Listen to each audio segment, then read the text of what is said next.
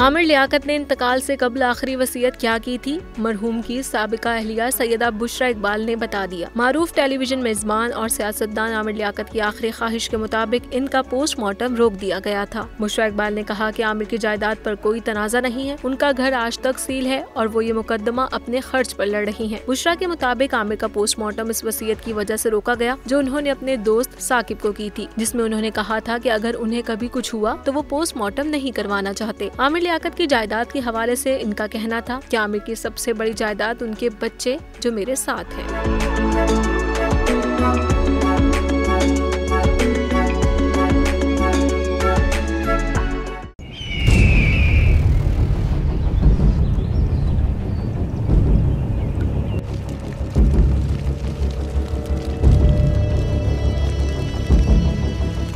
फिर से आ रहा हूँ।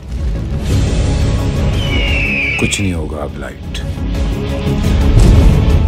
get yourself ready for this fight खुश रहो Pakistan. Coming back